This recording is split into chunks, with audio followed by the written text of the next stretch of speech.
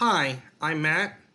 I'm from Virginia, and I am a Democrat that used to be a Republican. I wanted to make this video tell my story on the day that I voted early. Of course, I voted for Joe Biden and Kamala Harris because I don't think we can survive another four years under Donald Trump. We barely survived the the the current four years under Donald Trump. Actually, that's not entirely true because 200,000 people are dead because of his mishandling of the coronavirus. And Trump doesn't care.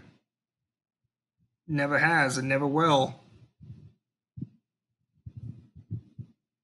In 2016, I voted for him, and it was the biggest mistake I've ever made as a voter, and one of my biggest mistakes ever.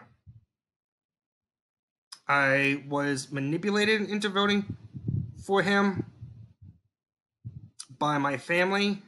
It was easy for them because I have ADHD and, and Asperger's, and they know exactly what to say, how to say it to get me to vote for this monster.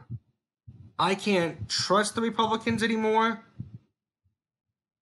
and I will never vote for a Republican again until I can until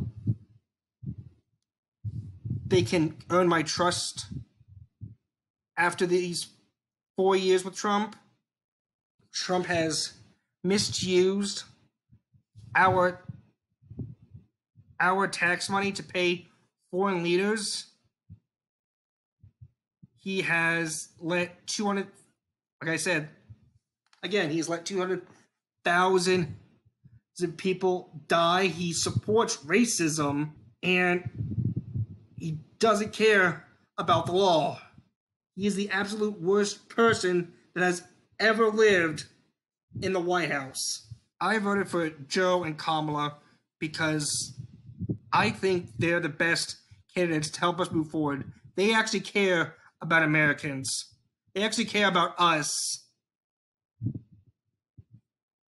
Unlike Trump, who has lied and openly admitted to downplaying the the coronavirus, he has because he doesn't want to start a panic. Donald Trump has destroyed America. I hate Donald Trump because I love my country.